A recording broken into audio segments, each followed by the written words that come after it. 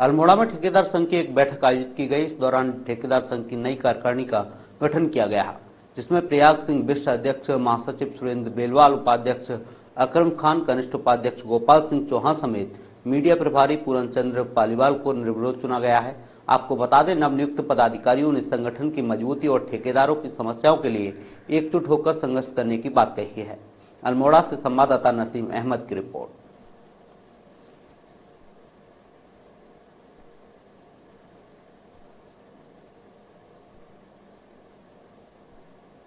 हमारा प्रयास रहेगा कि ठेकेदारों की जो भी समस्याएँ हैं शासन प्रशासन में उनको रखने की कोशिश की जाएगी और छोटे से छोटा हमारा जो छोटा ठेकेदार होता है उसकी इसमें भरपूर मदद की जाएगी क्योंकि वो गाँव घर से आया है ज़मीन से जुड़ा है उस, उसकी जो परेशानियाँ हैं उनको मुख्यतः इसमें मुद्दा बनाया जाएगा और उनको मांगों को रखा जाएगा और अधिकारियों को हमारी जो रॉयल्टियाँ हैं जो हमारा शासन से अभी हमारे रजिस्ट्रेशन पंजीकरण में ये एक्स्ट्रा आइटम में कई चीज़ों में बहुत विसंगति है दिक्कतें हैं उनको सही करने का प्रयास किया जाएगा।